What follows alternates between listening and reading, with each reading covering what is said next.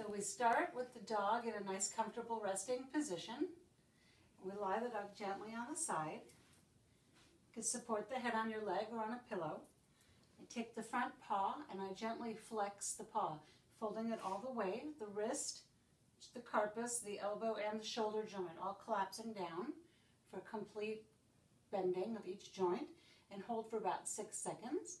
Then I extend from behind the elbow forward so that the wrist is at the level of the nose and you want it to be in the normal plane of walking. And then to stretch the pectoral muscles, which are underneath the armpit, you bring the leg up into a salute and hold for about six seconds. And then folding the wrist, the elbow and the shoulder, and then bringing it back to extension, full extension of the elbow.